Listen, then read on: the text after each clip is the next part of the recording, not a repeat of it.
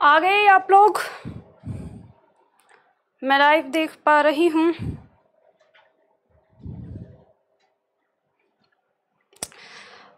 Live शुरू हो गया है।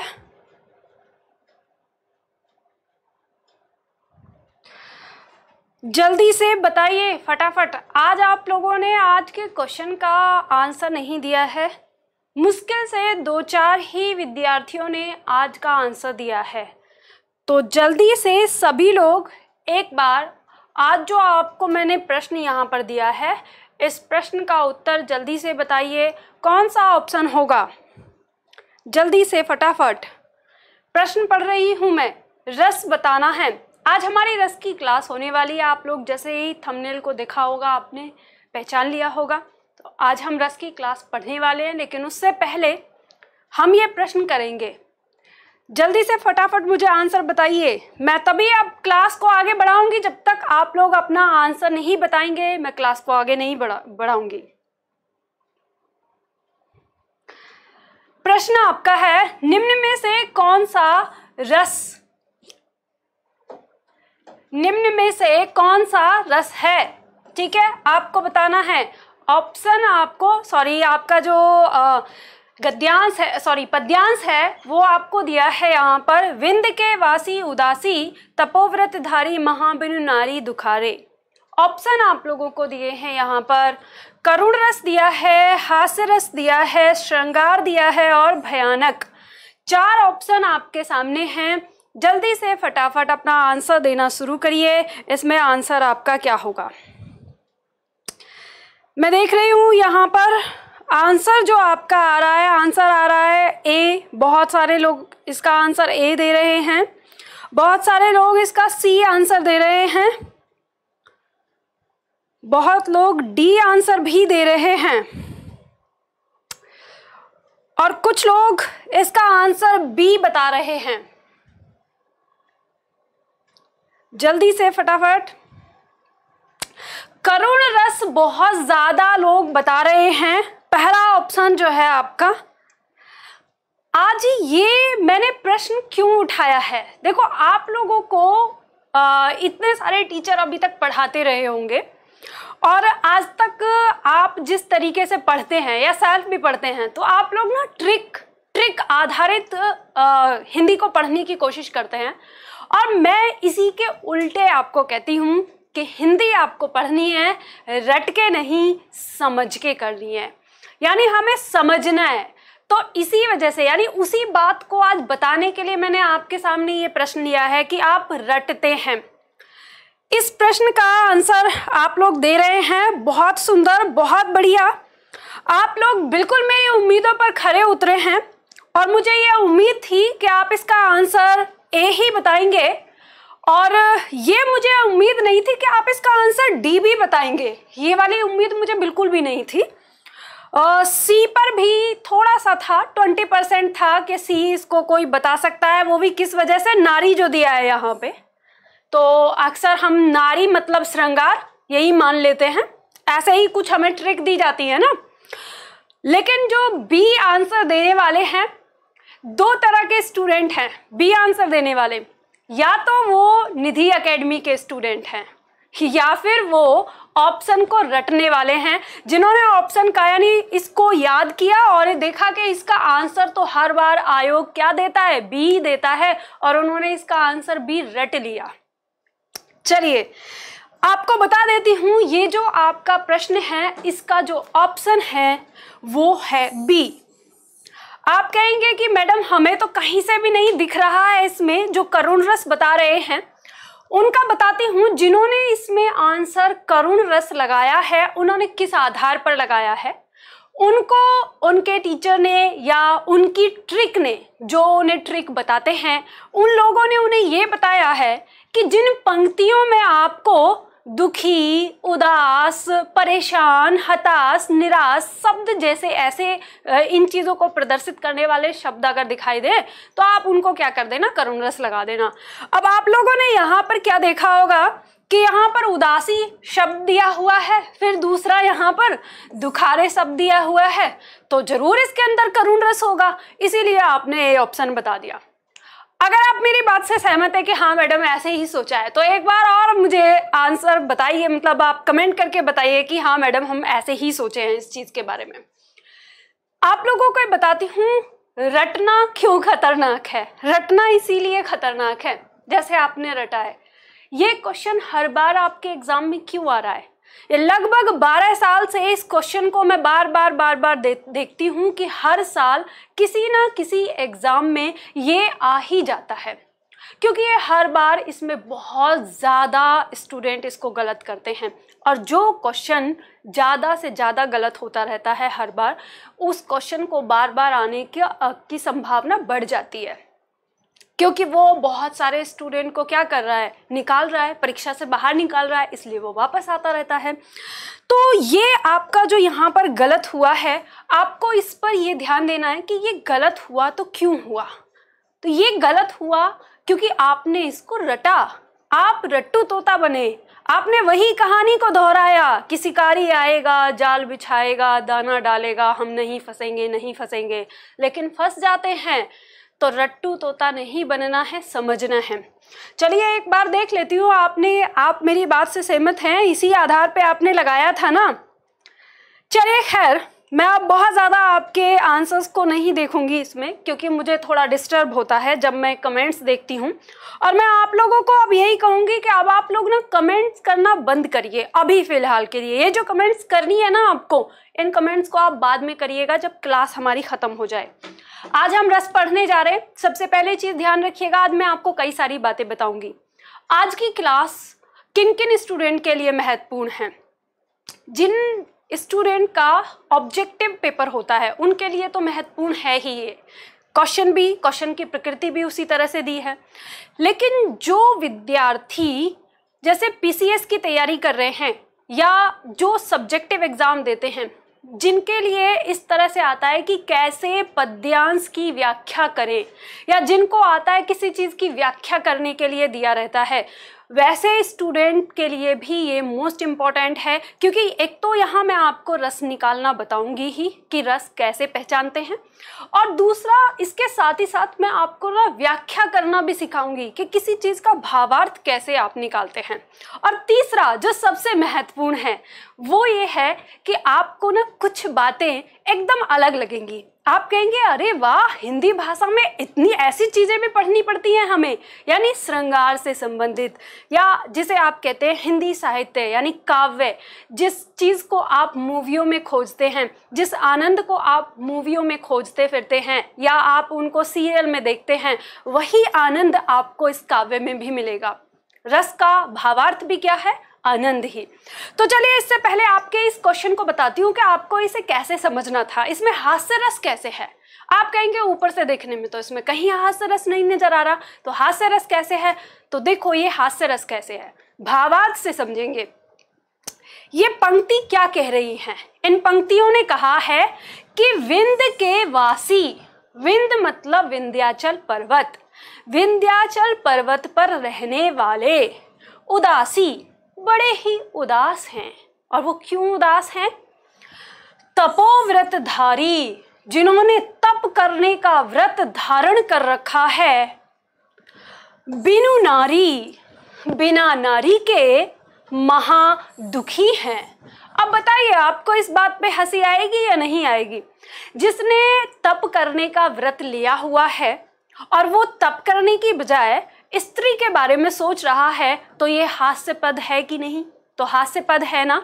यानी अगर जो अपने आप को सन्यासी कहता है, जो अपने आप को तपस्वी कहता है, और वो श्रृंगार की बात करता है तो इस पर हम क्या करते हैं? हँसते ही है ना?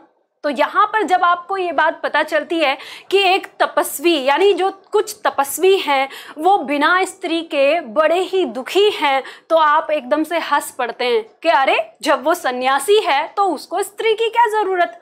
तो यहाँ पर हँसी आती है। तो आपको इसी बात को समझना है। यानी जो हमारा रस है ना, वो भाव बताता है कि किसी पंक्ति के पीछे का भाव क्या है? उससे हमारे मन में क्या आता है? वही हमारा रस होता है। इस बात से नहीं फ़र्क पड़ता कि पंक्ति में शब्द क्या दिए हुए हैं। अगर पंक्ति में शब्दों के ऊपर आप जाएँगे तो ये गलत चीज़ होगा। तभी आपका क्या इस तरह का हादसा हो जाता है कि जहाँ पे हास्य रस था, वहाँ आप क्या लगा देते हैं? करुण रस लगा देते हैं। लेकिन मुझे ना ये बात समझ में नहीं आई कि ये भयानक रस आप लोगों ने कैसे लगा दिया। या श्रृंगार रस श्रृंगार रस, चलो, श्रृंगार रस तो आपने नारी की वजह से लगा दिया होगा। लेकिन भयानक रस कैसे बताया, मुझे ये वाली बात समझ नहीं आई। खैर, इस पे मैं रिसर्च करूँगी। पर चलो आगे बढ़ते हैं। हम चलते हैं रस की ओर। अगर हम बात करें रस की तो अगर हम शाब्दिक अर्थ देखें तो रस कहते हैं आनंद को। यानी वो आनंद जो हमारे मन में आता है। तो हम जब रस की परिभाषा की ओर चलते हैं तो हमें पता चलता है कि जब किसी काव्य को पढ़कर, सुनकर या देखकर हमारे मन में जो भाव उत्पन्न होता है, उस भाव से जो हमें फीलिंग यानी जो हमारे मन में भाव आ रहा है, वो अच्छा है, बुरा है, कैसा है, उस भाव को ही हम क्या कहते हैं? रस कहते हैं। चलिए इसके बारे में विस्तार से कुछ चीज़ें पढ़ते हैं। आ, ये पंक्ति मैंने यहाँ पे आपकी कुछ ली थी जैसे इसी चीज़ को समझाने के लिए लेकिन इस वाला पॉइंट को यानी जो ये हास्य रस है आपका इसको मैं विस्तार से आपको समझाऊँगी। यानी ये इसी की आगे की पंक्तियाँ हैं जो आपको बताती है कि इसमें छोटा मोटा हास्य रस नहीं है, बहुत बड़ा हास्य रस है। जब हास्य रस हम पढ़ेंगे, उस समय मैं इन पंक्तियों की व्याख्या आपको पूरी तरह से बताऊँगी। तब आपको पता चलेगा कि अच्छा इसमें इतना बड़ा हास्य रस था, ठीक है? तो हम शुरुआत करते हैं अपने रस की, जैसे ही शुरू से पढ़ रहे हैं, बिल्कुल। अब एक बात और ध्यान रखना। रस पढ़ते पढ़ते ना, रस में खो मत जाना। आपको अपनी परीक्षा का भी ध्यान रखना है। आपकी परीक्षा में कौन कौन सी चीज़ें पूछी जाती हैं? उस पॉइंट पर भी हम बात करेंगे। और जो रस में हम जिस उद्देश्य से यानी रस को पढ़ रहे हैं कि थोड़ा सा मनोरंजन भी हो जाए तो वो भी पढ़ेंगे। लेकिन आपको जो आपका उद्देश्य है, आपकी परीक्षा में पूछे जाने वाले प्रश्न, उन पर भी फोकस करना है। इसलिए आप नोट डाउन भी साथ के साथ करते रहिएगा, ठीक है? अगर आपको ये पीडीएफ चाहिए, जो मैं आगे दूँगी तो आप मेरी ऐप पर जाकर डाउनलोड कर सकते हैं। वहाँ पे आपको ये पीडीएफ मिल जाएगा, ठीक? अब यहाँ पर कुछ पॉइंट हैं जो आपको नोट डाउन करने हैं अपने परीक्षा के दृष्टिकोण से। जैसे मान लो, हमने रस के अर्थ की बात करी, आपसे ये क्वेश्चन पूछ सकता है कि रस का शाब्दिक अर्थ क्या है? ठीक है? तो रस का शाब्दिक अर्थ अगर आपसे पूछ लिया तो आपको ये बताना होगा, आनंद। ठीक है?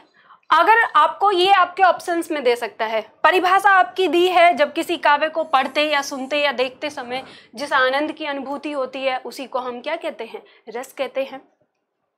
इसके साथ ही कुछ ऐसे पॉइंट हैं जो आपको बिल्कुल अपने दिमाग में ना रखना है। जैसे, सर्वप्रथम भरत मुनि ने, यानी हमारे रस के बारे में बताया किसने था हमको सबसे पहले?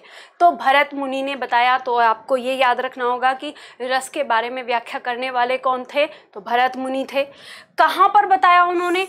किस ग्रंथ में बताया? तो नाट्य शास्त्र नामक ग्रंथ था उनका।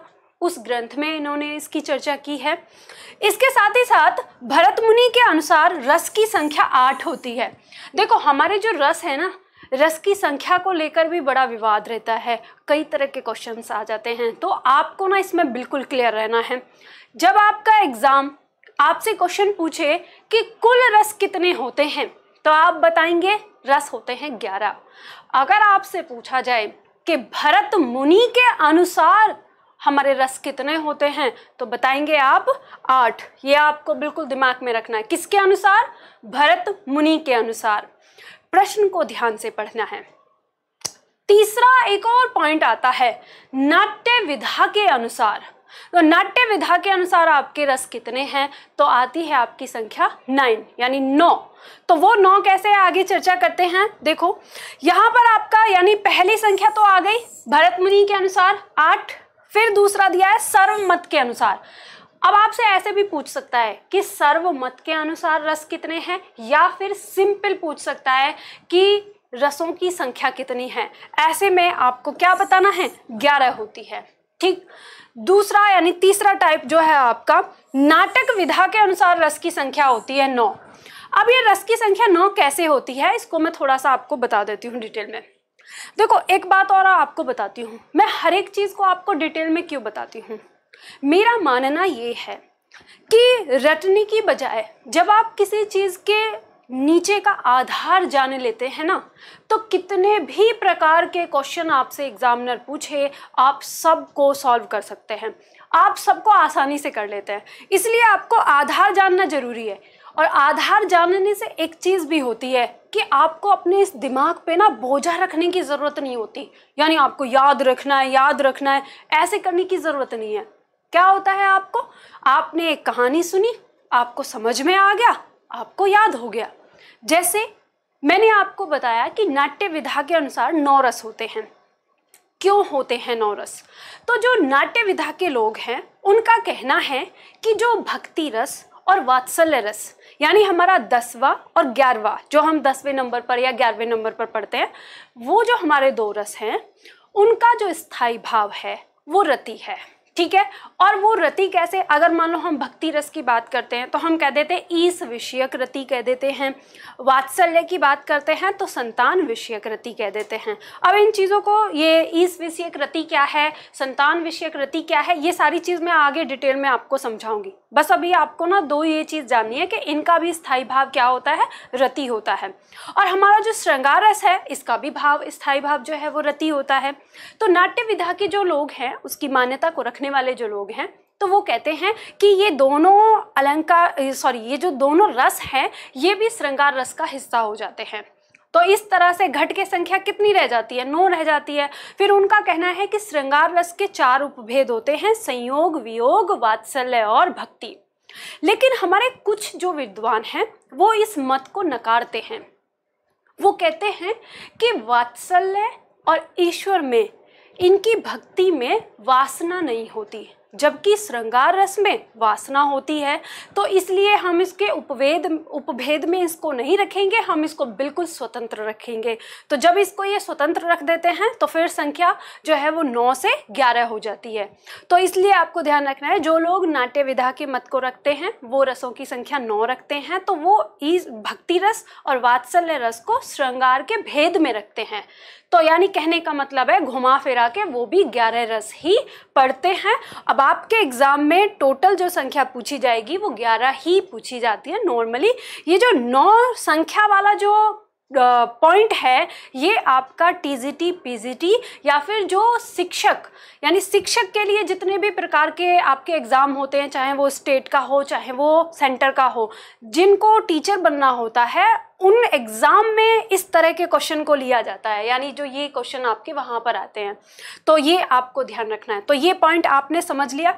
इसके बाद एक पॉइंट और रह गया आपसे जो क्वेश्चन पूछा जाता है कि काव्य की आत्मा या काव्य का प्राण तत्व किसको माना जाता है? तो रस को हम काव्य की आत्मा कहते हैं या काव्य का प्राण तत्व कहते हैं। दोनों में से कोई सा भी देके आपसे क्वेश्चन पूछ लिया जाता है। डायरेक्ट क्वेश्चन आता है। ये समझ लीजिए कि ये चार पाँच क्वेश्चन जो है ना चार पाँच अंक हैं आपके। बिल्कुल एकदम से। चलिए अब आगे बात करते हैं। जब हमने रस के बारे में बात किया ना तो रस आपके कुछ अवयव होते हैं रस में। अवयव मतलब रस के कुछ आ, अंग पार्ट अब ये अंग पार्ट कैसे हैं? इनको बताने से पहले आपको ये चीज़ बताती हूँ। कि आपके एग्ज़ाम में क्वेश्चन कैसे पूछा जाता है? क्योंकि अगर हमें ये पता चल जाता है ना कि हम जो चीज़ पढ़ रहे हैं, उसका उद्देश्य क्या है तो हमें चीज़ें ज़्यादा अच्छे से समझ में आती हैं। आपके एग्ज़ाम में रस नाम के टॉपिक से जो प्रश्न पूछे जाते हैं, यानी जो प्रश्न किए जाते हैं, वो तीन चार तरह के होते हैं। उनमें वो क्या क्या पूछता है?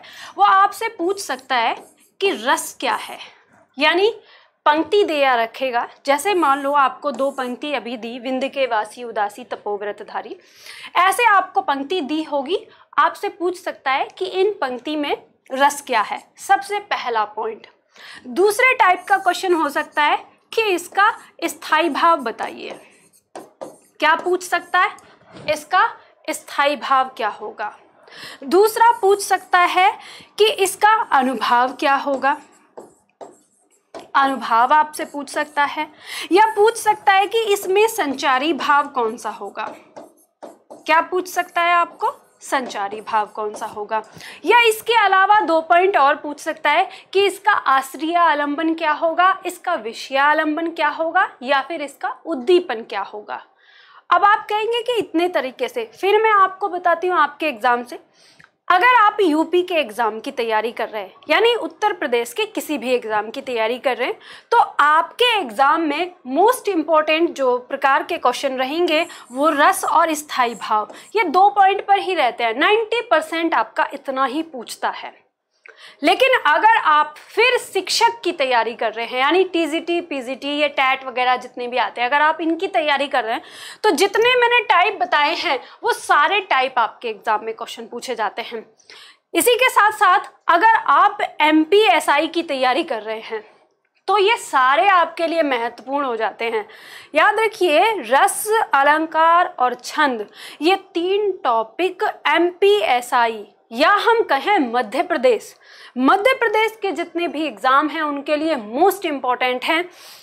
एम में आपको पता है सत्तर नंबर का आपका जो क्वेश्चन आता है और सत्तर नंबर में से अगर आप मुझे अक्सर स्टूडेंट बोलते हैं कि अगर मैडम सत्तर में से हमें साठ भी मिल जाए ना तो हमें बहुत, हमारे लिए बहुत अच्छा होगा। लेकिन मैं कहती हूँ कि साठ से आपके सत्तर अंक बनाना, यानी साठ से सत्तर अंक बनाने का जो एक ज़िम्मेदारी है ना, वो आपकी अलंकार, रस और छंद, इन तीन टॉपिक पे ही होती है।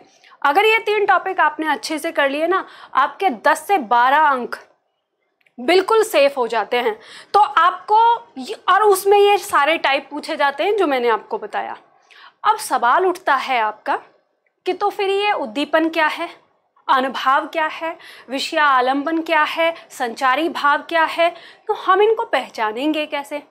तो इनकी प्रकृति कैसी होती है? इनको पहचानने का तरीका क्या होता है? ये होते क्या क्या हैं? अगर हम इन चीज़ों को जान लेते हैं तो हमें पंक्ति में निकालना ज़्यादा आसान हो जाता है।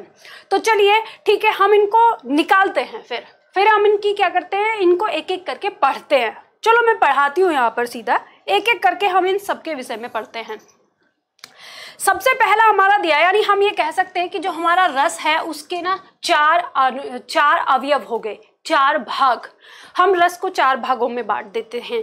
क्या एक स्थायी भाव, विभाव, अनुभाव और संचारी भाव? अब इन चीज़ों को समझ लीजिए। स्थायी भाव क्या होता है? स्थायी भाव कहते हैं वे भाव जो हमारे हृदय में जन्म से लेकर मृत्यु तक हमारे हृदय में ही रहते हैं। यानी हम कह सकते हैं कि ऐसे भाव जब जो हमारे पैदा होने से लेकर मरने की अवस्था तक हमारे हृदय में विराजमान रहते हैं, उन भावों को हम स्थायी भाव कहते हैं। और जब हम स्थायी भाव के बारे में डिटेल चर्चा करते हैं तो हमें पता चलता है कि हमारे पास ना सिर्फ़ और सिर्फ़ नौ तरह के भाव हैं, जो हमारे हृदय में जन्म से मृत्यु तक हमारे पास होते हैं और सबके पास होते हैं। ये नौ भाव ऐसे हैं कि कोई व्यक्ति ये नहीं कह सकता कि मेरे पास इनमें से ये वाला भाव नहीं है। ये नौ भाव हर प्राणी के अंदर होते हैं, हर मनुष्य के अंदर ये नौ भाव होते हैं। अब ये नौ भाव कौन से हैं, इनकी डिटेल चर्चा ना इसके तुरंत बाद ही करेंगे। तो हमने पहले जाना, एक होता है स्थायी भाव, जो हृदय में हमेशा रहता है। दूसरा होता है विभाव। विभाव को हम कह सकते हैं कारण। अगर हम इसका शाब्दिक अर्थ देखें तो वो कारण जिसकी वजह से हमारे हृदय में स्थायी भाव जग रहा है, उसे हम विभाव कहते हैं। अब इसकी भी डिटेल चर्चा करेंगे। ये विभाव भी हमारा दो प्रकार का होता है, उद्दीपन और आलंबन, ठीक है? तो इसके बारे में हम पढ़ेंगे आगे तुरंत, इसी के तुरंत बाद। अनुभाव। अनुभाव का मतलब क्या होता है? तो अनुभाव को अगर हम एक शब्द में देखें तो अनुभाव का मतलब होता है चेष्टा। आश्रय के द्वारा जब उसके हृदय में जो भी भाव जगा है, उसके तुरंत बाद जो वो क्रिया प्रतिक्रिया करता है, वही क्या कहलाती है? अनुभाव कहलाती है। और बात करें हम संचारी भाव की तो संचारी भाव, संचारी मतलब संचरण करने वाले, यानी आने जाने वाले या सहचर, वे भाव जो इस बात की पुष्टि करने के लिए आते हैं कि हृदय में कौन सा भाव जगा है। हमारे हृदय में कौन सा भाव जगा, ये बताने के लिए जो भाव आते हैं, उनको कहते हैं संचारी भाव। अब इस तरह की परिभाषा आपने किताबों में तो बहुत बार पढ़ी होगी, लेकिन इनको समझते हैं अपनी आम ज़िंदगी से। चलिए आपके जीवन से उदाहरण लेती हूँ। सबसे पहले उदाहरण लेती हूँ मैं श्रृंगार रस का। बहुत पसंद है आप लोगों को श्रृंगार रस। तो सबसे पहले उदाहरण मैं श्रृंगार रस से ही लेती हूँ। अगर श्रृंगार रस हमारे सामने हो तो उसका स्थायी भाव, उसका विभाव, उसका अनुभव और उसका संचारी भाव हम कैसे पहचानेंगे? तो चलिए थोड़ी देर के लिए हम आपके बचपन में चलते हैं। अब अगर आप बचपन जी रहे हैं, यानी कौन सी अवस्था में, जिस समय आप टेंथ, इलेवेंथ, ट्वेल्थ वाली एज में हैं? अगर आप अभी उस एज में हैं तो अभी भी फील कर सकते हैं।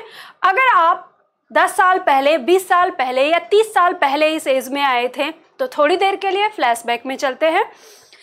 सपोज़ करो, एक सीन है, एक दृश्य एक दृश्य अपने दिमाग में लेके आते हैं। आप एलेवेंथ क्लास में थे और आपकी छुट्टियाँ ख़त्म हुई हैं। आज छुट्टियाँ ख़त्म हुई हैं कल से आपका स्कूल खुलने वाला है। आप मन में सोच रहे थे यार छुट्टियाँ तो बहुत जल्दी ख़त्म हो गई थोड़े दिन और रहती तभी आपका दोस्त आपके पास आता है। और वो आपको इन, एक इन्फॉर्मेशन देता है कि सुना है एक साल के लिए कोई नया चेहरा स्कूल में पढ़ने के लिए आया है। एक्साइटमेंट हो गया आपके मन में। अच्छा वो पढ़ने आया है मतलब आप जान गए वो कौन है? आपके अपोजिट जो आपके अपोजिट बंदा है, उसके बारे में बात कर रहे हैं।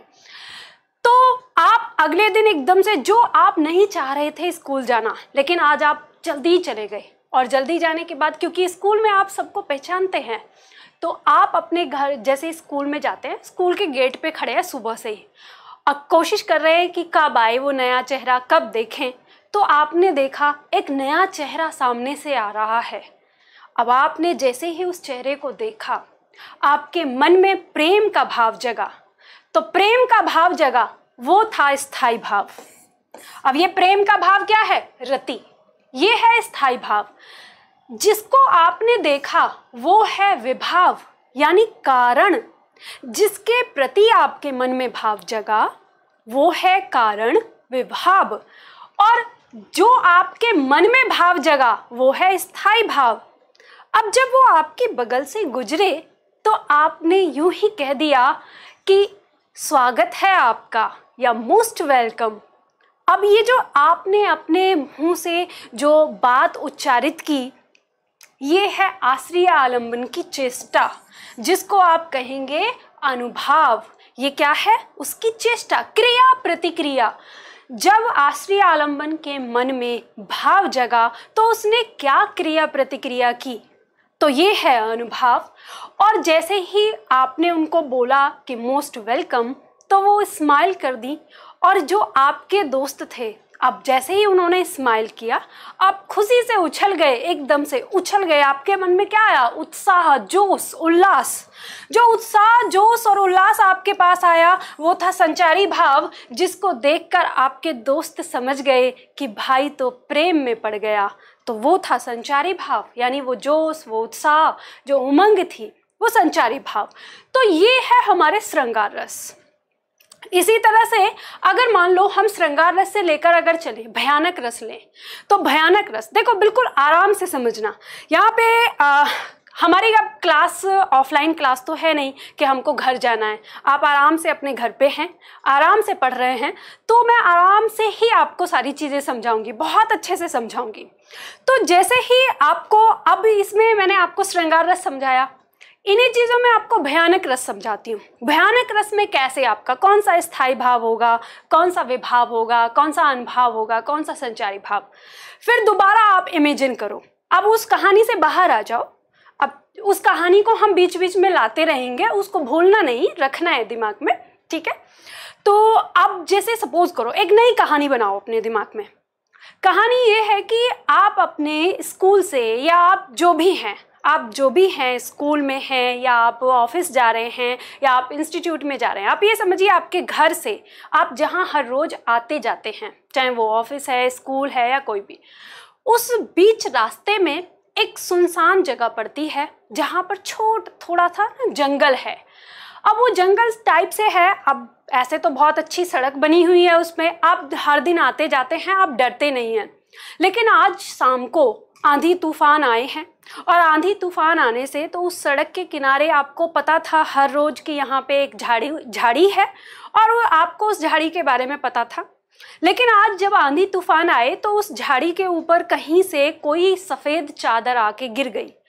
और जब आंधी तूफ़ान आ रहे थे, बारिश आ रही थी तो उस बारिश की वजह से एक कोई जो आवारा कुत्ते होते हैं, वो उसके नीचे छिप के बैठ गया है।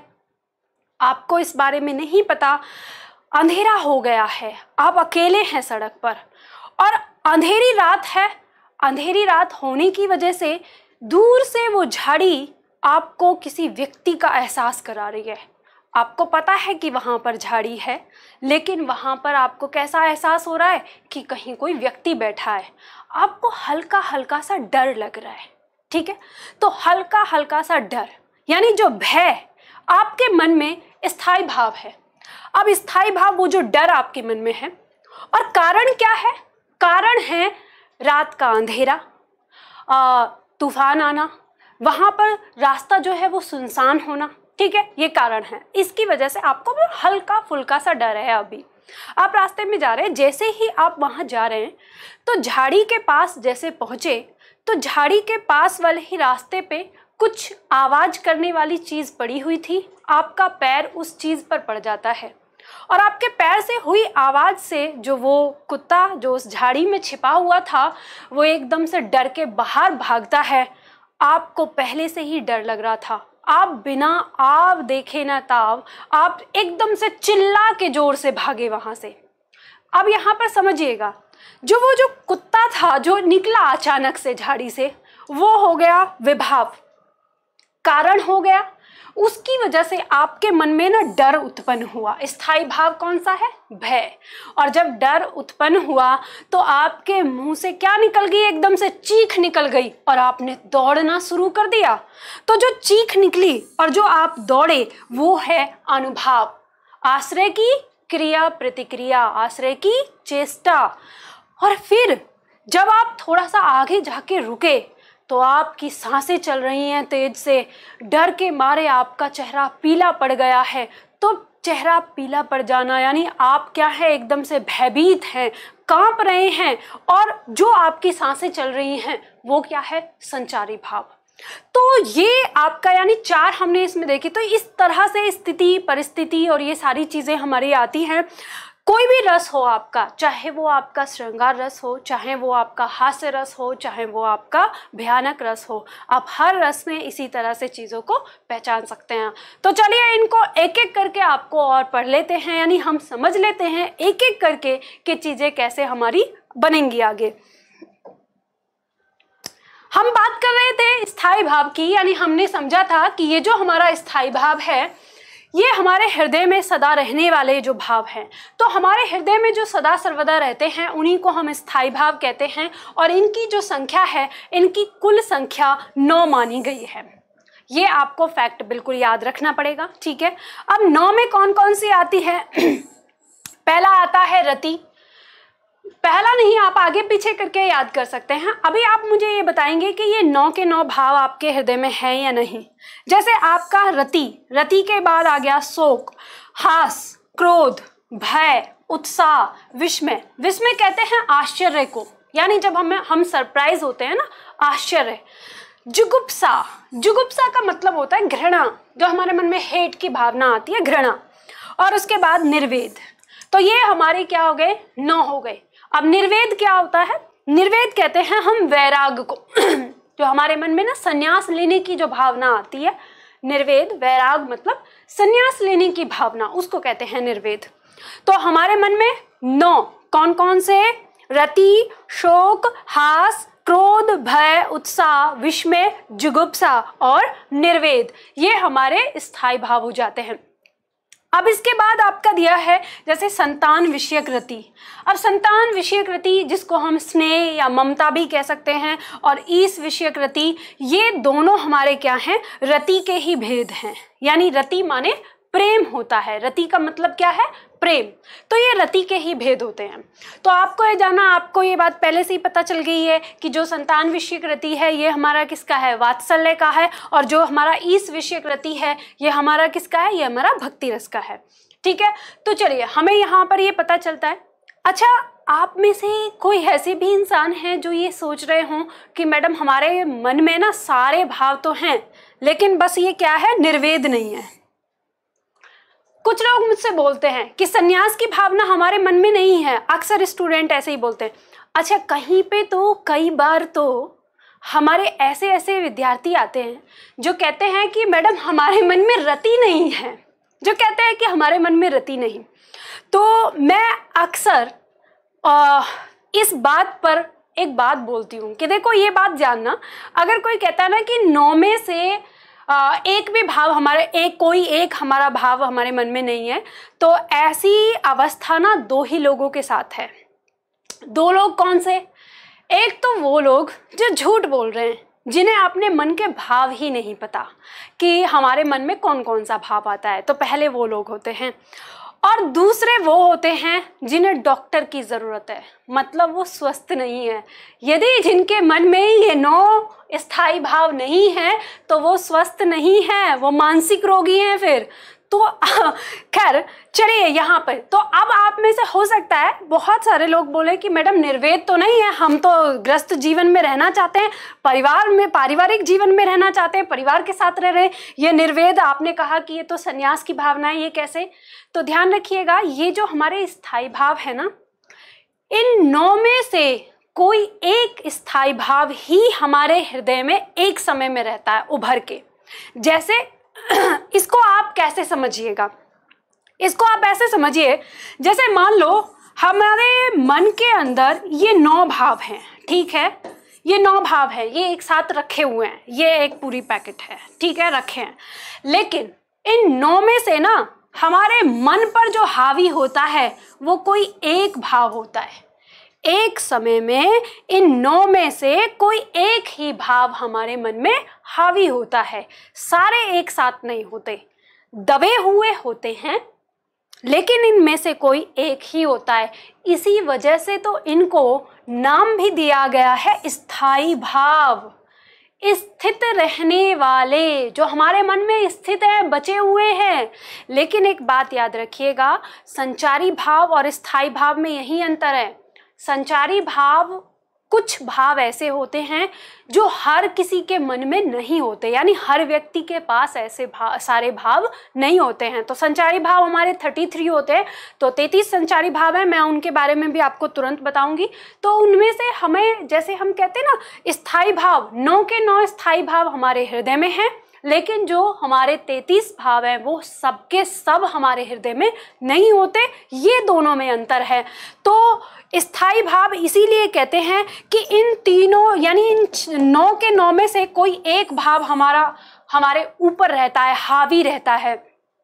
तो कहा जाता है हमारे जीवन में ना लगभग लगभग सेवेंटी यानी एट्टी, या हम कहें सत्तर से अस्सी परसेंट जो भाव हमारे जीवन काल में हमारे ऊपर रहता है, वो होता है रति का।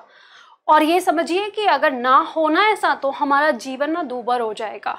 हम प्रेम भाव में अपना पूरा जीवन गुजारने की कोशिश करते हैं और सबसे और बाकी जो हमारे भाव हैं, वो क्षणिक होते हैं। जैसे आप देख लो, मान लो क्रोध की बात करो तो आप खुद ही बताइए 24 घंटे में से अगर आपको कभी गुस्सा आता है, कितनी देर के लिए गुस्सा करते हैं?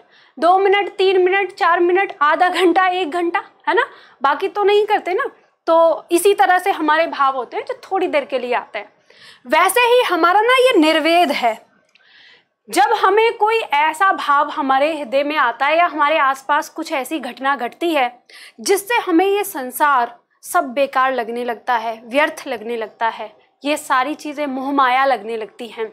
वो जो उस समय हमारे मन में भाव जगता है, उसी को कहते हैं निर्वेद।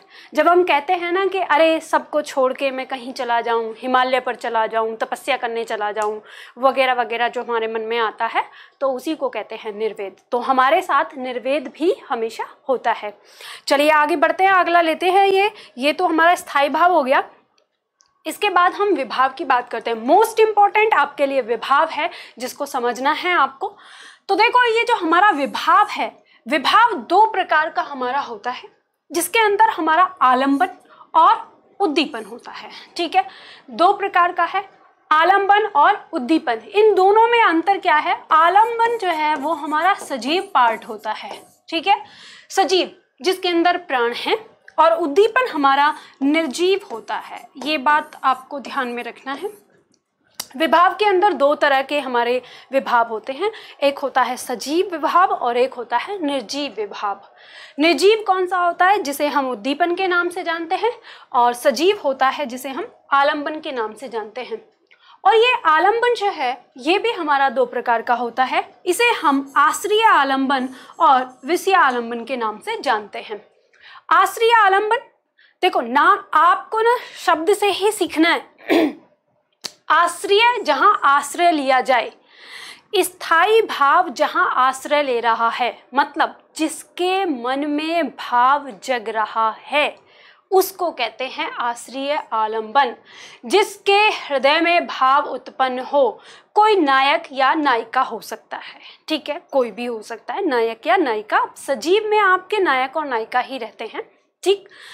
और विषय आलंबन विषय मतलब विषय का मतलब होता है संबंधित। जिससे संबंधित, यानी हमारे मन में जो भाव जगह है, वो किससे संबंधित है या किसके प्रति? तो हम कह सकते हैं कि जिसके प्रति, जिसके लिए, जिसके कारण हमारे मन में भाव जगता हो उसे कहते हैं विषयालंबन। यानी जिसके कारण या जिसके प्रति मन में भाव जगा है, ये नायिका, अगर यहाँ पर नायक हो गया तो यहाँ नायिका हो गया। जैसे हम श्रृंगार रस की बात करें तो मान लो हम श्रृंगारस की बात कर रहे हैं तो श्रृंगारस में एक तरफ़ अगर आश्रय आलंबन हमारा नायक है तो विषय आलंबन नायिका होगी। अगर आश्रय आलंबन नायिका है तो विषय आलंबन नायक होगा, ठीक है? ये कहाँ पे कंडीशन हर जगह ये कंडीशन लागू नहीं होती। ये सिर्फ़ किसकी बात कर रही हूँ मैं? श्रृंगार की बात कर रही हूँ, ठीक है?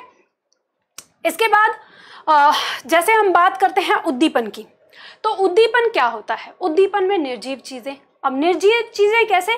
तो यहाँ कहा है कि जिस स्थिति, परिस्थिति या वस्तु के कारण, कोई स्थिति, परिस्थिति या कोई वस्तु के कारण हमारे मन में जब भाव उत्पन्न हो जाता है, अब वो कोई सा भी भाव हो, उसको हम क्या कहते हैं? उद्दीपन कहते हैं।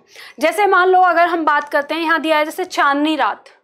तो चांदनी रात, कभी आप देखते हैं या एकांत स्थल या वर्षा, आपने कभी देखा है? जब वा वर्षा आ जाए आप बारिश में जब भीग जाते हैं तो आपको अपने आ, सहयोगी जो आपका साथी है उसकी याद आ जाती है। अब स्थिति चाहे कैसी भी हो आप संयोग में हैं या वियोग में हैं। अगर पार्टनर आपके साथ है तो भी बारिश में आपको उसकी याद आ जाती है। पार्टनर अगर आपके साथ नहीं है तो भी आपको उसकी याद आ जाती है। तो यानी, या फिर कहें एकांत स्थल। जैसे ही एकांत स्थल मिलता है तो आपके मन में प्रेम तुरंत चला आता है। हम जब श्रृंगार रस की बात करें, या फिर कभी आपका कोई प्रिय आपसे दूर हो गया है, या जिसकी मृत्यु हो गई है तो जैसे ही एकांत स्थल मिलता है, आप उसकी यादों में खो जाते हैं। अगर उसकी मृत्यु हो गई तो आपका मन उदास हो जाता है। तो वहाँ कौन सा आ जाता है? करुण रस आ जाता है। ठीक है? इसी तरह से जैसे आप मान लो हम बात करते हैं कोयल की कोयल की आवाज़ या कोयल का कूकना या और भी परिस्थिति। जैसे मैंने आपको बताया, उदाहरण जब मैंने दिया, याद करो, अभी जो मैंने आपको उदाहरण दिया थोड़ी देर पहले, कि आप जब इलेवेंथ क्लास से ट्वेल्थ में गए हैं तो वहाँ पर तो यहाँ पर हमारा उद्दीपन क्या हो सकता है? उद्दीपन हमारा क्या है? एक नए व्यक्ति का स्कूल में आना। ये परिस्थिति है, ये ऐसी स्थिति है कि एक नया व्यक्ति स्कूल में आया है तो उसको क्या कहेंगे हम? उद्दीपन कहेंगे।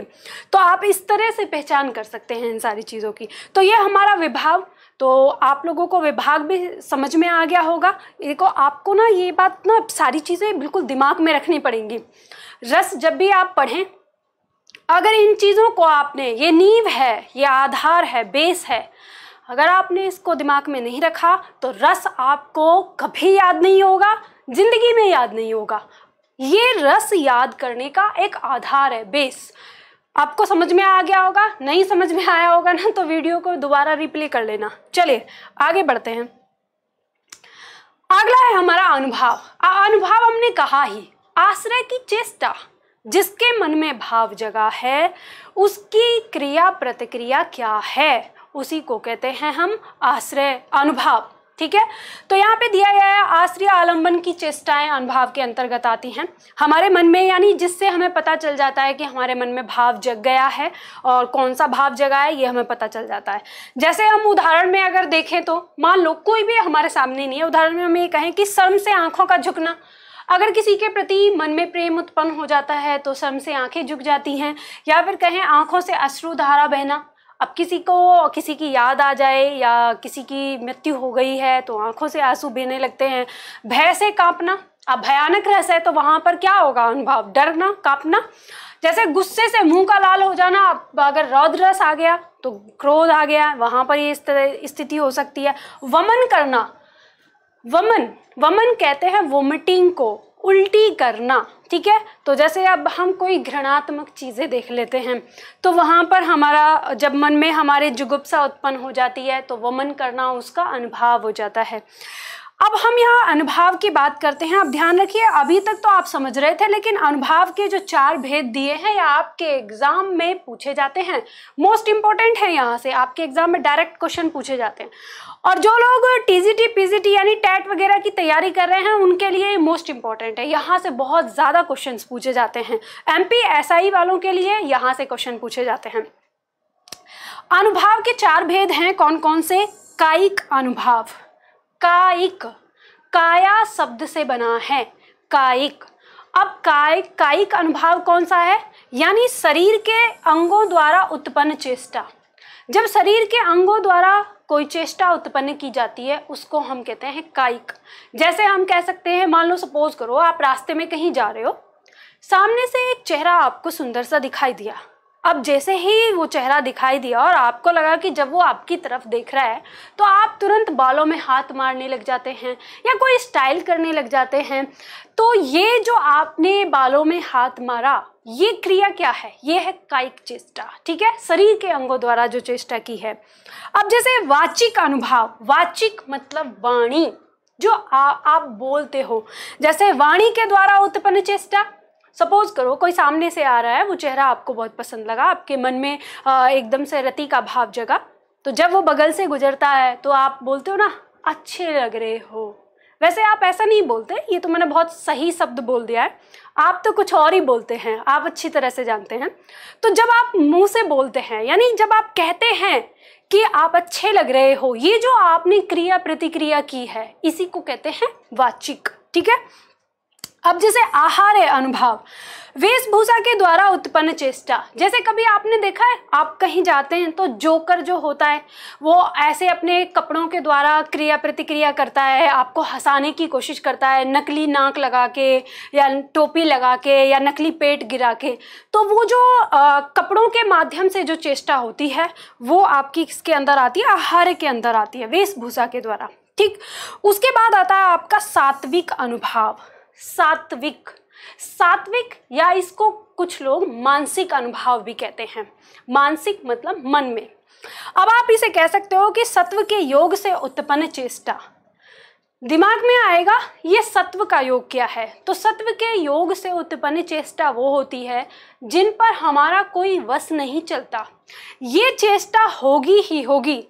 आप अनुभव, जो आपकी कायिक चेष्टा है, उसको रोक सकते हैं। आप वाचिक चेष्टा को रोक सकते हैं आहार चेष्टा को रोक सकते हैं, ठीक है? लेकिन आप सात्विक, जो आपका सात्विक अनुभव है, इसको नहीं रोक सकते।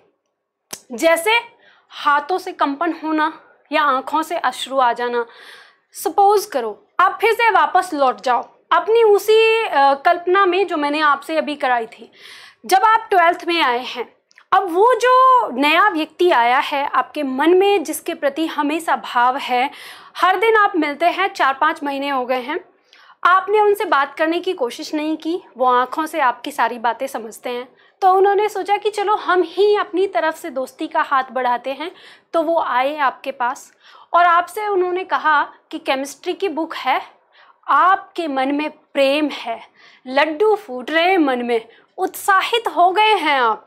लेकिन आप दिखाना नहीं चाहते। आप नहीं चाहते कि उनको पता चले कि आपके अंदर प्रेम है। तो आप बिल्कुल एकदम शांत स्वभाव से अपनी वो बुक उठा के कहते हैं हाँ हाँ है मेरे पास। और आप बुक उठा के उनको देते हैं। लेकिन आपके जो हाथ हैं, ये काँप रहे हैं, बहुत तेज़ी से काँप रहे हैं। आप चाहते हैं रोकना, लेकिन नहीं आपसे रुक रहा।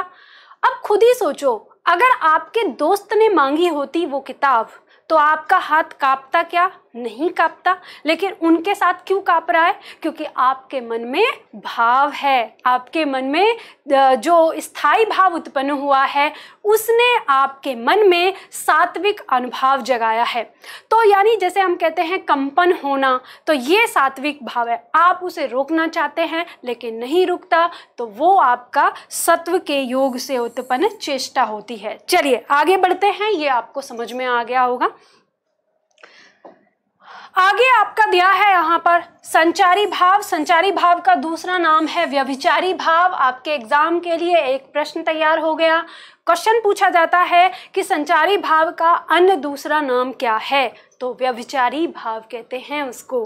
तो आपको ये समझना है, यानी संचारी भाव मतलब आने जाने वाले भाव जो हमारे मन में आते जाते रहते हैं, बदलते रहते हैं, और आपको है ना, एक चीज़ और ध्यान रखनी है। जैसे मैंने आपको बताया स्थायी भाव तो स्थायी भाव एक समय में एक होता है, और लेकिन ये संचारी भाव जो है, एक समय में एक से अधिक हो सकते हैं। ठीक, दूसरा अंतर इनमें क्या होता है? जो स्थायी भाव है, वो सिर्फ़ और सिर्फ़ नौ होते हैं, लेकिन ये संचारी भाव तैतीस होते हैं थर्टी थ्री होते हैं। तीसरा अंतर स्थायी भाव और संचारी भाव में। स्थायी भाव हमारे जो हृदय में है, यानी सबके पास होते हैं। नौ के नौ स्थायी भाव हर प्राणी के पास होते हैं। लेकिन ये जो हमारे संचारी भाव हैं, इनमें ज़रूरी नहीं कि ये सारे के सारे भाव हर प्राणी में हो। इन भाव को आप कंट्रोल कर सकते हो। यानी भाव तो आपके पास होंगे, लेकिन आप इन्हें कंट्रोल कर सकते हो। इन 33 में कुछ भाव आपके पॉजिटिव होते हैं, यानी सकारात्मक जिन्हें हम कहें, और कुछ भाव होते हैं आपके नेगेटिव यानी नकारात्मक। तो आप अपनी परवरिश आप अपने संस्कार, आप अपनी मानवता के आधार पर उन भावों को, किन्हीं भावों को दबा देते हो और किन्हीं भावों को उभार देते हो। तो ये इस तरह से आपके चलते हैं, यानी कुछ भाव इसमें आपके उभर जाते हैं, कुछ भाव आप उन्हें दबा देते हो। जैसे यहाँ पर दिया है हर्ष हर्ष, विषाद, त्रास, लज्जा, ग्लानी, चिंता, शंका, असूया, अमर्ष, मोह, गर्व, उत्सुकता उग्रता, चपलता, दीनता, जड़ता, आवेग, निर्वेद, धृति, मति, विबोध, वितर्क, श्रम, आलस, निद्रा, उन्माद निद्रा, स्वप्न, स्मृति, मद, उन्माद अभित्या और स्पर अपस्मार, व्याधि और मरण। ये आपके थर्टी थ्री हैं। आप इन ये आपके संचारी भाव में आते हैं, जो आपके, और एक बात भी आपको ध्यान रखना है कि स्थायी भाव एक रस का एक ही स्थायी भाव होता है, लेकिन संचारी भाव एक से अधिक रस में भी आते जाते हैं, ये आपको ध्यान रखना है। चलिए आगे हम शुरू करते हैं अपना रस के बारे में। हमारे यहाँ पर रस दिए हैं। कुल कितने रस हम पढ़ते हैं? हम पढ़ते हैं ग्यारह रस। अब ग्यारह रस में हमारी जो श्रृंगार रस है, श्रृंगार रस के दो उपभेद होते हैं, संयोग श्रृंगार और वियोग श्रृंगार। इसके बाद करुण रस। करुण रस का स्थायी भाव शोक हो जाएगा, श्रृंगार का रति हो जाता है, इन दोनों का रति रहता है, ठीक है?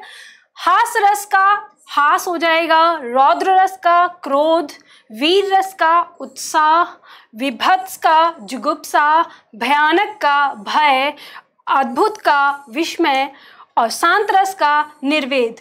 अब यहाँ पर आपको ध्यान देना है कि ये जो आपके आठ है ना, अद्भुत रस तक ये भरत मुनि के द्वारा लिखे गए हैं, ठीक है? शांत रस, इसको हम नौवा रस के नाम से जानते हैं। आपके एग्ज़ाम में ये क्वेश्चन आता है, आपसे पूछ लिया जाता है, नौवा रस कौन सा है? तो नौवा रस आपका शांत रस होता है, और ये भी ध्यान रखिएगा, सिर्फ़ और सिर्फ़ नौवा करके ही पूछा जाता है। अब ऐसे नहीं पूछेगा आपसे कि दूसरा रस कौन सा है, तीसरा कौन सा है, चौथा कौन सा ये नहीं आएगा, ठीक है? और अगर कोई कोई किताब इस तरह का क्वेश्चन बना देती है तो फिर वो एक तरह से हम कह सकते हैं कि वो हिंदी को बिना पढ़े क्वेश्चन बना देती है तो ऐसी किताब को पढ़ना छोड़ देना।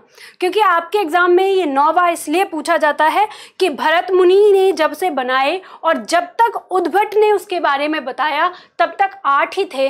आठ के बाद जब नौवा बना तो इस वजह से ये क्वेश्चन बना था कि नौवा। और नौ के बाद जो आपका दस और ग्यारह दिया है, इनमें भी काफ़ी अंतर था। इस वजह से इसको संख्या दी गई है कि ये नौवा रस है।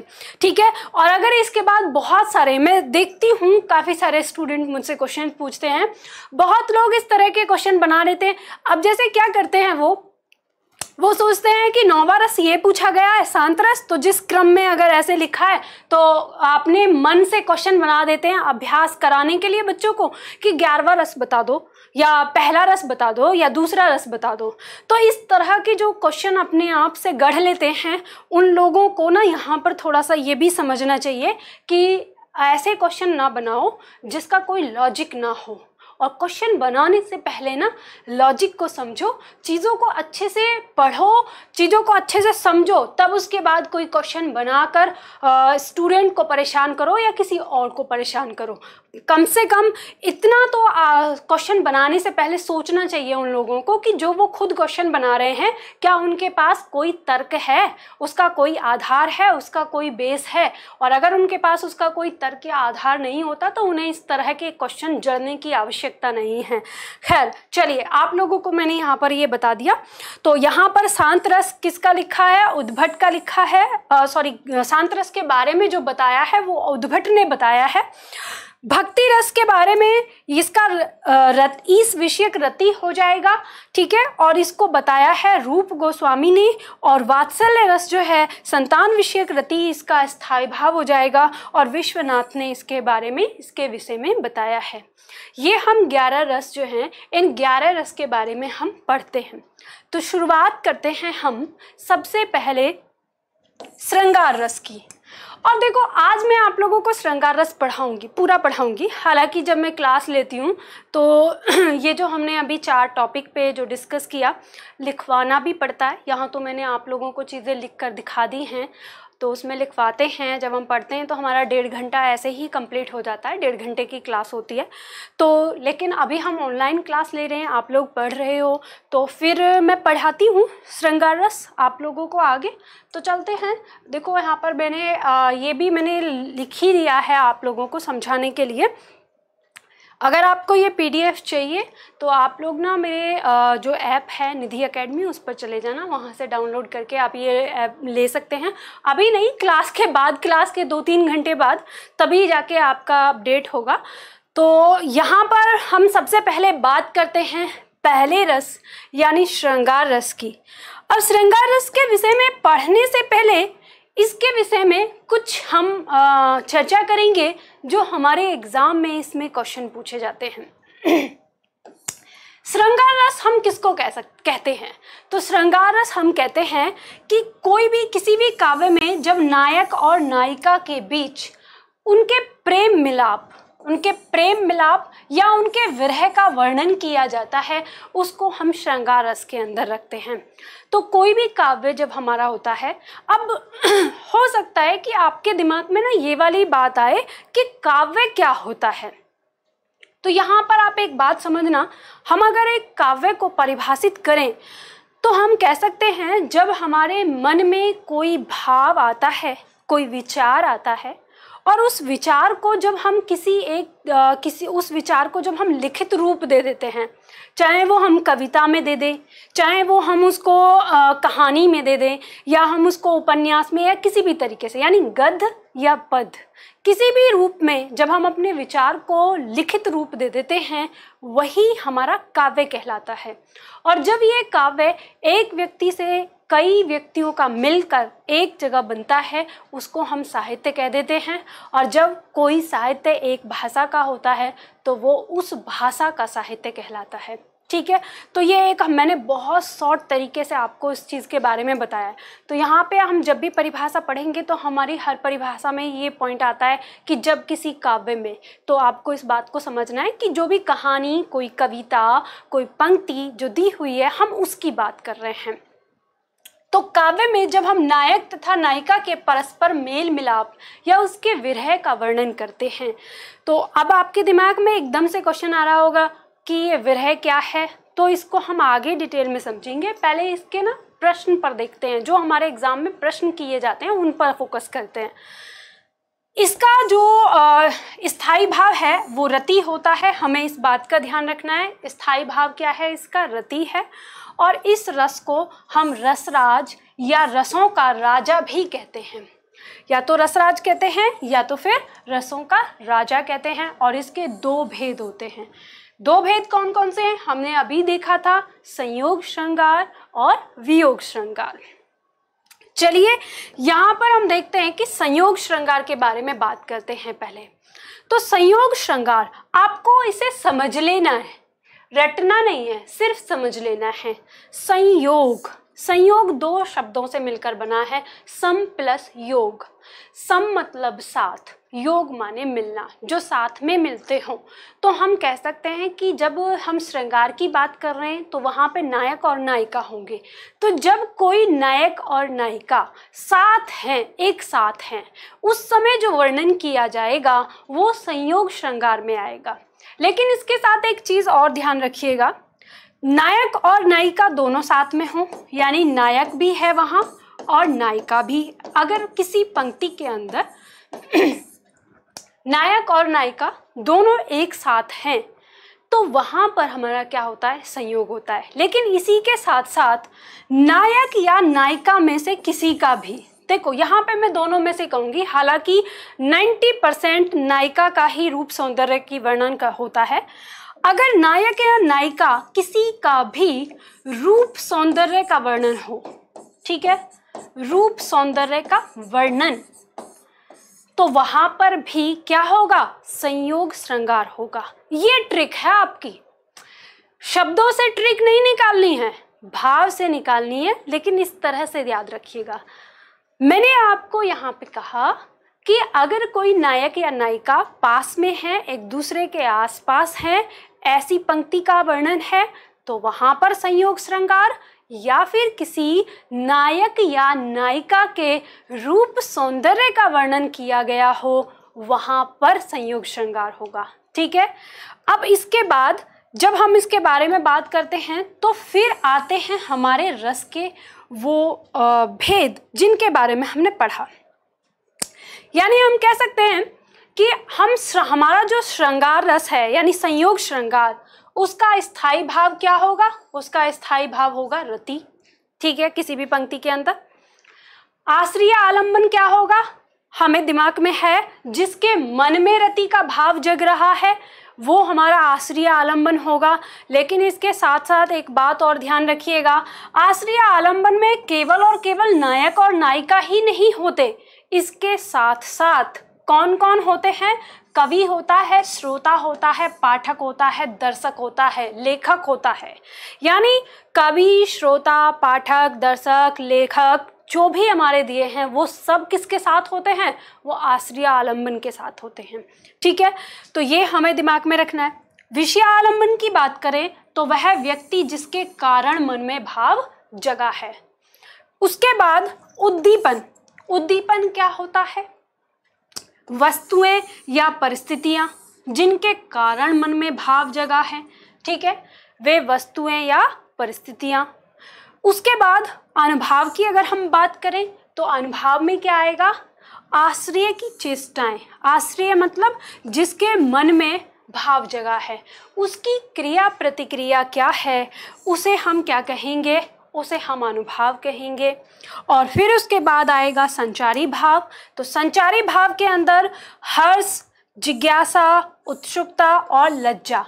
ये जो हमारा श्रृंगार है, यानी संयोग श्रृंगार इसके अंदर इनमें से कोई एक या इनमें से कोई दो या इनमें से कोई तीन संचारी भाव हमारा उस पंक्ति के अंदर होगा, जो संयोग श्रृंगार के अंदर रहेगी। ठीक है?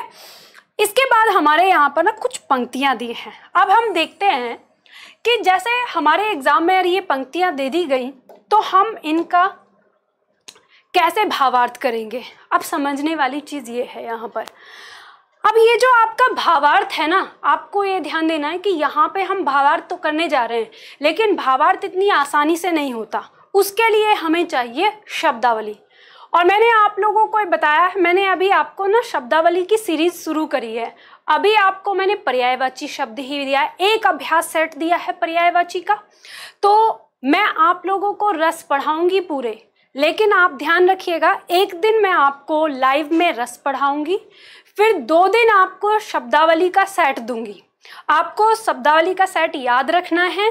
एक बात और मैंने देखा कि जब आपको पता चल जाता है ना थंबनेल पे कि यहाँ पे पर्यावची है, इसमें तो कुछ मैडम ने पढ़ाया नहीं होगा तो आप उसको व्यू भी नहीं करते हो, देखते भी नहीं हो।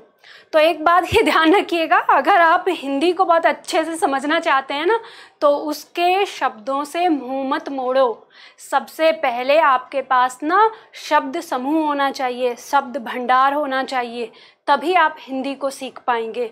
तो आपको व्याख्या सुनने से पहले उसके शब्दों को याद करना है। इसलिए जो हमारे शब्द आएँगे, उनको आपको सबको पढ़ के रखना है, याद करके रखना है अपने पास, ठीक है? तो आपको भावार्थ करते समय इनकी ज़रूरत पड़ेगी तो आपको याद रखना है। अब देखो, यहाँ पर मैं समझाती हूँ। अगर आप सब्जेक्टिव एग्ज़ाम की तैयारी कर रहे हो तो आपको सीखना होगा कि भाव हमको कैसे निकालना है और उसकी व्याख्या कैसे करनी है। यहाँ पर पंक्ति आपकी दी है बूजत श्याम कौन तू गोरी, कहाँ रहत काकी है बेटी? देखी नहीं कबू ब्रज खोरी। काहे को हम ब्रजतन आवती खेलत रही आपनी पौरी? सुनत रहित श्रवणनी नंदन ठोटा, करत फिरत माखन दही चोरी। तुमरो कहा चोरी हम ले हो खेलन चलो संग मिल जोरी। सूरदास प्रभु रसिक शिरोमणि, बातिन भुरई राधिका भोरी। अब आपके एग्ज़ाम में ये पंक्तियाँ, ऊपर की दो पंक्तियाँ भी आ सकती हैं, या फिर ये पूरी पंक्तियाँ भी आ सकती हैं? और आपसे पूछ सकता है कि इसका स्थायी भाव क्या है, इसका रस क्या है, इसमें अनुभाव क्या है, विषया आलंबन क्या है, आश्रय आलंबन क्या है, इसका उद्दीपन क्या है या इसका संचारी भाव क्या है। तो आप कैसे समझेंगे इन सारी चीज़ों को? तो पंक्ति देखो, आप यहाँ देखेंगे अच्छा मैं यहाँ पर आपको इस समय बता देती हूँ, ये पंक्तियाँ उस समय की हैं। जब भगवान श्री कृष्ण अपने सखाओं के साथ गली में खेल रहे हैं और पहली बार राधा जो है वो गोकुल आई हैं। और जब वो वहाँ पर आई हैं तो कृष्ण ने राधा को देखा है और राधा को पहली बार ही देखकर उनके मन में प्रेम का भाव जग गया है और वो राधा से आके बातचीत करने लगे हैं। अब इसी पंक्ति को यहाँ पर बताया गया है। अब सपोज़ करो, हो सकता है कि आपको ना पता चले कि भाई यहाँ पर राधा है या कृष्ण है तो आप ऐसे अनजान होने पर कैसे पहचानेंगे कि इसके अंदर श्रृंगार है? तो देखो, यहाँ पर आपको दिया है, बूझत श्याम कौन तू गोरी? जो श्याम है, वो पूछ रहा है। बूझत मतलब पूछ रहा है, कौन तू गोरी? है गोरी, तुम कौन हो? अब ये गोरी कौन है? राधा है, आपको पता है। चलो, मैं आपको पहले परिचित भाव में बता देती हूँ, ताकि आपको श्रृंगार रस का आनंद भी मिले, ठीक है? फिर उसके बाद मैं आपको अनजान वाले भाव में दोबारा इसकी व्याख्या बता दूँगी। तो यहाँ पे हम जानते हैं कि भगवान श्री कृष्ण जो हैं, वो राधा के पास आते हैं और उनसे पूछते हैं, हे गोरी, तुम कौन हो? कहाँ रहत? कहाँ रहती हो? काकी है बेटी? किसकी बेटी हो? देखी नहीं कबो ब्रिज खोरी। मैंने यहाँ पे देखो, ध्यान रखना, खोरी का अर्थ यहाँ पर है गलियाँ। कि ब्रज की गलियों में इससे पहले तो तुमको देखा ही नहीं। अब जब कृष्ण ने इस तरह से पूछा तो राधा ने उनको जवाब दिया है। उन्होंने कहा है काहे को हम ब्रजतन आवत? हम ब्रज के ब्रज तन मतलब यहाँ पे वो कह रहे हैं, ब्रज के प्रांगण में या ब्रज के मैदान में। हम ब्रज के मैदान में काहे को आए या क्यों आए? खेलत रही आपनी पौरी। पौरी का मतलब आँगन के लिए आ जाता है कि हम अपने ही आँगन में खेलते रहते थे। हम यहाँ पे ब्रजतन में क्यों आते? लेकिन फिर वो रीज़न बताती हैं। वो कृष्ण को थोड़ा सा कटाक्ष करने की कोशिश करती हैं तो वो रीज़न बताती हैं कि हम क्यों आए हैं यहाँ पर? तो फिर कहती हैं, सुनत रही श्रवणनी नंदन टोटा। यानी हम अपने, श्रवणनी का मतलब है यहाँ पर अपने कानों से, कि हम अपने कानों से नंद के बेटे के बारे में सुन रहे थे कि करत फिरत माखन दही चोरी, कि वो माखन और दही की चोरी करता फिरता रहता है। तो मैंने ऐसा अपने कानों से सुना था तो हम उसको देखने के लिए आए हैं। अब कृष्ण जी को अब पता है, अब देखो किसी को इस तरह से बोलेंगे सामने तो उनको बुरा तो लगेगा ही। अब कृष्ण जी भी कम नहीं है, वो भी बातों में बहुत तेज हैं। तो वो राधा से तुरंत क्रॉस क्वेश्चन करते हैं, तुमरो कहा चोरी हम ले हो? तुम्हारा हमने क्या चोरी कर लिया, जो तुम यहाँ पर चली आई? खेलन चलो संग मिल जोरी और फिर वो कहते हैं कि ना ही तो हमने तुम्हारा कुछ चोरी किया है और ना ही हम तुम्हारा कुछ चुराने वाले हैं। तुम ऐसा करो, हमारे साथ जोड़ी मिलाकर खेलने चलो। अब पंक्ति आगे कहती है, सूरदास प्रभु रसिक सुरोमणि, बातन भुरई राधिका भोरी। अब सूरदास जी कहते हैं, क्योंकि ये जो पद है, ये सूरदास जी ने लिखा है तो सूरदास जी कहते हैं कि रसिक सिरोमणि सिरोमणि का मतलब है जो सबसे ऊपर हैं। रसिक मतलब आसिक जो आसिकों में सबसे ऊपर माने जाते हैं, वो कौन? भगवान श्री कृष्ण अब आसिकों में भी सबसे ऊपर किन को माना जाता है? कृष्ण को माना जाता है। उन्होंने बातिन भुरई, अपनी बातों में राधिका भोरी, भोली भाली राधिका को बहला लिया है। और उनको खेलने के लिए ले गए हैं अपने साथ। तो यहाँ पर देखो इन पंक्तियों में आपको पता चलता है संयोग श्रृंगार है। कैसे? नायक और नायिका दोनों पास हैं आपस में बात कर रहे हैं कृष्ण के मन में प्रेम का भाव जगा है। तो यहाँ पर क्या हो गया हमारा? आ, इसके अंदर संयोग हो गया। दूसरा अगर हम बात करें कि इसमें आश्रीय आलंबन कौन है तो इसके अंदर आश्रीय आलंबन है भगवान श्री कृष्ण। क्योंकि उनके मन में भाव जगा है। और विषय आलंबन कौन है? विषय आलंबन है राधिका। तो राधा के प्रति उनके मन में भाव जगा है। उद्दीपन क्या है? उद्दीपन है राधा का पहली बार ब्रज की गलियों में आना और कृष्ण का उनको देखना। तो यहाँ पर उद्दीपन मतलब परिस्थिति क्या है? तो राधा पहली बार ब्रज की गलियों में आई है। और यहाँ अनुभाव क्या है? अनुभाव है कृष्ण का जाकर राधा से पूछताछ करना। तो यहाँ पर कृष्ण राधा से जाकर पूछताछ करते हैं, जब उनके मन में प्रेम का भाव जगता है तो अनुभाव हो गया। और संचारी भाव इसके अंदर क्या है? तो संचारी भाव है इसके अंदर उत्सुकता और जिज्ञासा। यानी कृष्ण को जानने की उत्सुकता है कि ये कौन है, कहाँ से आई हैं। तो इस तरह से हम इसके अंदर जितने भी अवयव हैं, सबको पहचान लेते हैं। कैसे पहचान पाए हम ये सारे अवयव? ये पहचान पाए इसके भावार्थ से। कहाँ से आया इसका भावार्थ? इसका भावार्थ आया हमारी शब्दावली से।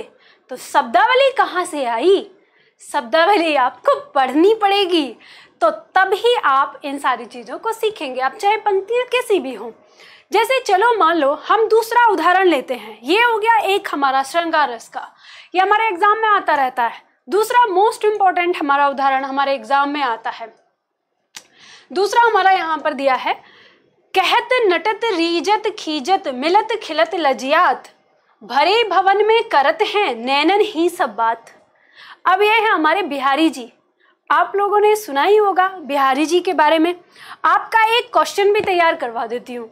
आपके एग्ज़ाम में ऐसे क्वेश्चन पूछ लिया जाता है कि गागर में सागर भरने वाले कवि कौन हैं, बताइए। ये रचना एवं रचनाकार के अंदर आ जाता है।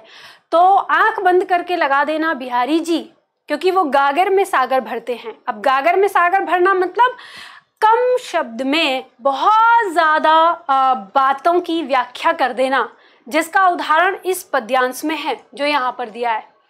यहाँ क्या कहा है? कहत नटत रीजत खीजत मिलत खिलत लजियात। इस कहत इतने ही शब्द में एक पूरी पंक्ति है। कैसे समझो इसको? परिस्थिति क्या है? यहाँ पर परिस्थिति ये है कि नायक और नायिका और उनके परिवारजन एक भवन में बैठे हैं किसी महत्वपूर्ण बात पर चर्चा करने के लिए। अब एक तरफ़ जो नायिका है, उसका परिवार है और दूसरी तरफ़ नायक का परिवार है। लेकिन जो नायक और नायिका हैं, उनको सिर्फ़ अपने प्रेम से मतलब है। उन्हें इस बात से कोई मतलब नहीं कि वो लोग क्या बात कर रहे हैं, किस मुद्दे पर बात कर रहे हैं। तो नायक और नायिका एक दूसरे को देख रहे हैं और एक दूसरे को देखते हुए क्या बात करते हैं? तो कवि यहाँ कहता है, कहत। जो नायक है, वो नायिका से उस भवन से बाहर चलने के लिए कहता है। नटत। अब जो नायिका है, वो नाट जाती है, मना कर देती है।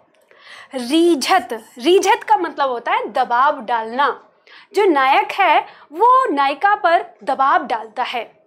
खीजत। खीजत का मतलब होता है गुस्सा हो जाना। अब जो नायिका है, वो खींच जाती है, गुस्सा हो जाती है और अपनी नज़रों को हटा लेती है। मिलत। कुछ समय बाद दोनों की नज़रें फिर से मिलती हैं। खिलत। दोनों ही खिल जाते हैं, मुस्कुरा जाते हैं। लजियात अब जैसे ही दोनों नायक मुस्कुराता है तो जो नायिका है, वो लज्जा जाती है, शर्मा जाती है। भरे भवन में करत हैं, नैनन ही सब बात। कवि कहता है, भरे हुए भवन में नैन ही नैनों में सारी बातें कर रहे हैं। अब आपको पता है, नायक भी है यहाँ और नायिका भी है। तो श्रृंगार है इसके अंदर। अब आपको ये बात तो आप बहुत अच्छी तरह से जानते हैं, जो नायक, नायिका है, एक वही है एक्सपर्ट आँख ही आँखों में बात करने में। तो जो हमारे बिहारी जी हैं वो इस तरह के ही पद्यांश करते हैं। यानी वो अपने कम से कम शब्दों के अंदर बहुत बड़ी बड़ी बातों को कह देते हैं। इन पंक्तियों में आपने समझ लिया, इन पंक्तियों में कौन सा रस है हमारा? श्रृंगार रस है और श्रृंगार में भी कौन सा? संयोग श्रृंगार है। एक और उदाहरण लेते हैं हम यहाँ पर। पार्ट तीन हमारा यहाँ पर दिया है, तीसरा, जिसके अंदर दिया है, ये भी हमारा बिहारी जी का है।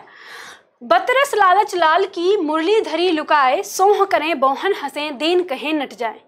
अब यहाँ पर जो नायक नायिका हैं, वो कृष्ण और राधा हैं, इन पंक्तियों में। यहाँ पर अब दृश्य कुछ ऐसा है, आपको ना पहले दृश्य बता देती हूँ। इससे ना आपको आनंद भी आएगा श्रृंगार रस पढ़ रहे हैं आप, और श्रृंगार रस पढ़ते हुए आपको आनंद ना आए तो फिर बेकार है, फिर रस पढ़ना, ना? तो यहाँ पर दृश्य ये है कि भगवान श्री कृष्ण जब राधा से मिलने आते हैं तो हर रोज ना बांसुरी बजाते हैं। बांसुरी बजा के चले जाते हैं। अब राधा को उनसे करनी है बातें। अब वो बातें नहीं करते वो सिर्फ़ बांसुरी बजाते हैं। तो एक दिन प्लान करके जो राधा जी हैं, वो उनकी बांसुरी को छिपा के रख देती हैं। और वो जब बांसुरी को छिपा के रख देती हैं और कृष्ण उनसे बांसुरी के बारे में पूछते हैं तो उसी घटना पर यहाँ पर बात है कि बतरस लालच बतरस मतलब बातों का रस लेने के लालच में।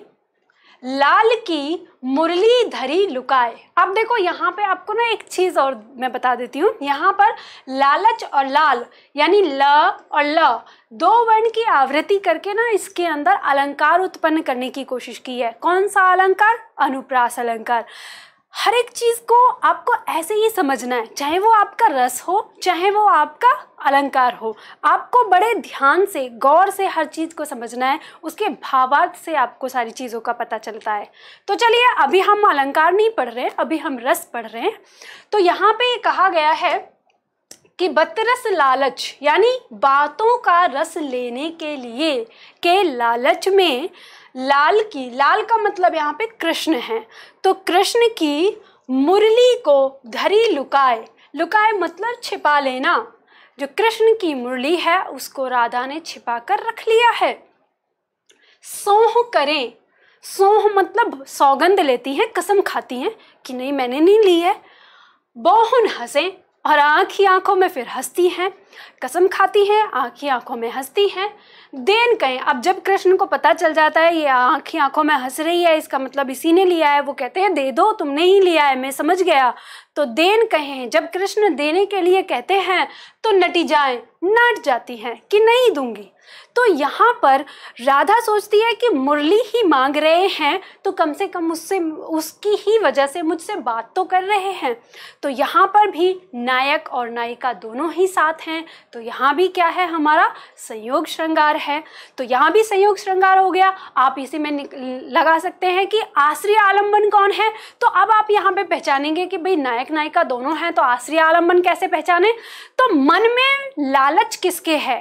प्रेम किसके भाव आ रहा है? तो प्रेम का भाव राधा के मन में आ रहा है ना यहाँ पर। राधा उनसे बात करना चाहती है। तो राधा का मन में भाव है तो वो आश्रय आलंबन हो गई। किसके प्रति है? कृष्ण के प्रति। तो कृष्ण यहाँ पर क्या हो गए? विषय आलंबन हो गए। तो उद्दीपन क्या है? मुरली को छिपा कर रख लेना। ठीक है? अब यहाँ पर अनुभव क्या होगा कि राधा क्या कर रही हैं? उनकी सौगंध ले रही हैं, हंस रही हैं, ये अनुभव हो गए। तो संचारी भाव क्या है? यहाँ पे उनसे बात करने का लालच यानी जिज्ञासा है, उत्सुकता है, हर्ष है, प्रेम है, ये सब किसमें आ जाएँगे? संसार, संचारी भाव में आ जाएँगे। तो इस तरह से आप इनके अनुभव, जो इनके अवयव होते हैं, उनको भी पहचान कर लेते हैं। तो आज हमने पढ़ा श्रृंगार रस के बारे में, यानी श्रृंगार रस का कौन सा? संयोग श्रृंगार। तो आज हम इतना ही करते हैं। अब हम इसके बाद, यानी जो कल हमारी क्लास होगी तो कल की क्लास में हम श्रृंगार का जो दूसरा पार्ट है, वियोग श्रृंगार और करुण रस या इसके बाद के जो रस है तो हम उनकी क्लास करेंगे। तो आप लोगों को ये क्लास कैसी लगी, मुझे कमेंट्स करके बताइएगा। मैं तभी आपको इसके आगे कराऊँगी। इसके साथ साथ मैं आप लोगों को एक चीज़ और बताती हूँ। जब आप लोग कमेंट्स करते हैं, बहुत अच्छी कमेंट करते हैं तो मुझे हौसला मिलता है। और आप लोगों का तहे दिल से शुक्रिया इस चीज़ के लिए कि आप लोग मेरी मेरे पढ़ाने को पसंद कर रहे हैं। आपको एक बात और कहना चाहती हूँ। पहले मैं ऐसे सोचती थी, मुझे थोड़ा सा ये लगता था कि जैसे हमारे यूट्यूब पर लोग जो है वो एक ट्रिक को या एक शॉर्ट तरीके को बताना ही प्रेफरेंस देते हैं, उसी की प्राथमिकता में रखते हैं और स्टूडेंट भी उस चीज़ को प्राथमिकता देते हैं कि हमें शॉर्ट शॉर्ट बता दो। तो पहले मैं ये सोचती थी कि अगर मैं आप लोगों को बहुत ज़्यादा डीप में बताऊँगी, बहुत गहराई से बताऊँगी तो पता नहीं आप लोग उसको पसंद करेंगे या नहीं करेंगे, लेकिन आपके जो कमेंट्स मुझे मिले और आप लोगों ने जो इस बात पर ही फोकस किया कि मैम आप जो हमें समझाती हो इतने अच्छे से और हमें तब समझ में आता है। तो सच बताऊँ तो मुझे इतना रिलैक्स मिला। अब मेरे अंदर से वो डर ख़त्म हो गया है कि आप लोग इसको पसंद करेंगे या नहीं करेंगे। क्योंकि मैं पहले यही सोचती थी कि जो मार्केट में चलन है क्या मुझे भी वैसे ही फॉलो करना पड़ेगा?